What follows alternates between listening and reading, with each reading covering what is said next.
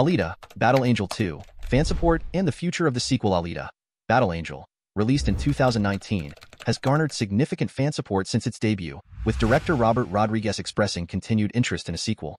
However, the film's uncertain future lies in the hands of Disney, which acquired the production company 20th Century Fox in 2019. Despite the acquisition, Rodriguez, along with actors Christoph Waltz and Rosa Salazar, expressed uncertainty and hope for a sequel.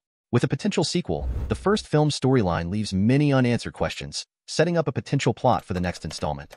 Rodriguez and James Cameron, the film's co-writer and producer, had plans for a complete story arc, with Cameron providing extensive notes for a potential trilogy.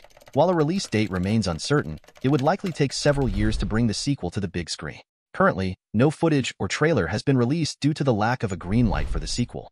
However, fans can encourage Disney to continue the story by showing support for Alita, Battle Angel 2.